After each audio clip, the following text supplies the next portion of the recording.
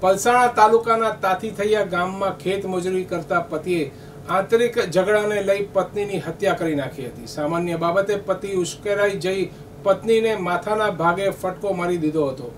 બાળકોએ માતા પિતાના ઝઘડાને પોલીસ સમક્ષ રજૂ કરતા સમગ્ર ઘટના બહાર આવી હતી. એટલું જ નહીં, પત્નીની હત્યા કર્યા બાદ પતિ ખેત માલિકની પત્ની પાસે અંતિમ વિધિના પૈસાની પણ માંગણી કરી હોવાનું જાણવા મળ્યું છે.